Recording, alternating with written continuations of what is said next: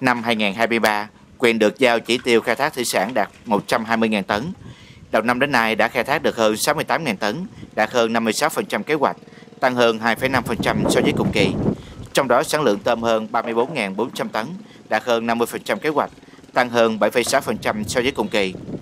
Quyện sẽ tiếp tục triển khai tập huấn chuyển giao khoa học kỹ thuật, chương trình khuyến nông địa phương năm 2023, phối hợp các trạm chuyên môn thực hiện chương trình giám sát dịch bệnh trên tôm, theo dõi tình hình dịch bệnh xảy ra trên tôm, cá nuôi, hướng dẫn người dân thực hiện thả giống đúng lịch thời vụ, chọn đối tượng nuôi phù hợp từng dùng, thích nghi tốt với môi trường để giảm thiệt hại, nâng cao hiệu quả sản xuất.